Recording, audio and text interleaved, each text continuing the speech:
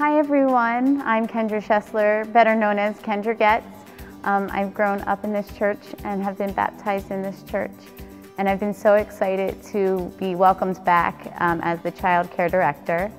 Uh, I want to start off by saying that what this church has done for me, it's been incredible. It was my safe place growing up. I had a rough uh, middle school, high school experience, and I always felt safe here. Uh, I felt like I was part of a family, and it made me and gave me something to look forward to was being in the choir with Janice or going on youth trips with Candy. Um, something more to look forward to. You guys helped me go to Bear Creek Camp every summer and I still know the prayers and the songs that I learned there. Uh, now that I'm back, I get to teach my son all about being in this church and what it means to me. Uh, and it gives him a chance to grow up in the same exact location that I got to grow up.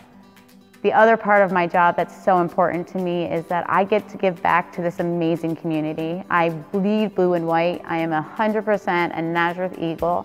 I graduated in 2003 and now I get to help people I graduated with and other parents that are in this area. I get to help watch the children and make sure that they're feeling loved and they get to grow and learn. Um, it's so important to me to make sure that the children are safe in our community and because of all of you, I get to help make a difference in our community and it just, it's just everything is riding on having this building for these children. It's safe, it's affordable care, and we always get to give back. And that is the most important message at the end of the day.